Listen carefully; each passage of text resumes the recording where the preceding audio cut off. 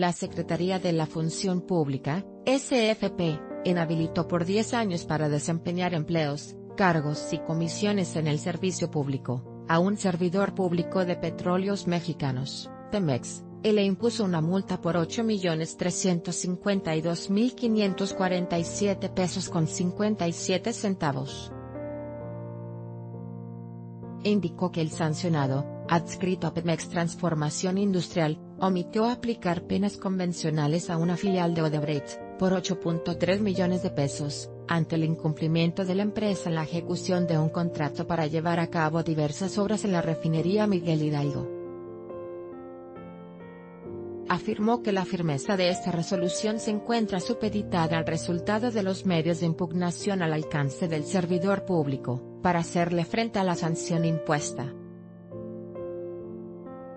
Dicha resolución, dijo, es parte de los procedimientos administrativos sancionatorios que se han desahogado como resultado de la investigación iniciada el 22 de diciembre de 2016, respecto a la adjudicación, ejecución y cumplimiento de contratos suscritos entre Odebrecht, y Barra o sus filiales con Pemex. La SFP refirió que, a través de la Unidad de Responsabilidades en Pemex, ha resuelto hasta este momento nueve procedimientos.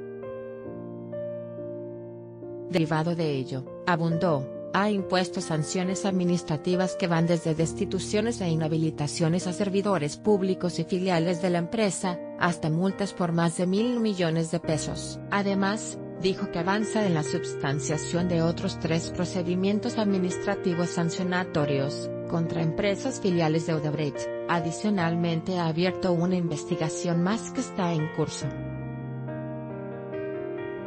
La SFP reiteró el compromiso de seguir reforzando los mecanismos de vigilancia y control en las dependencias, entidades e instituciones de la Administración Pública Federal, con el propósito de prevenir y sancionar toda conducta que pudiera ser contraria a la ley. Política Santiago Nieto pide reformar el Sistema Nacional Anticorrupción.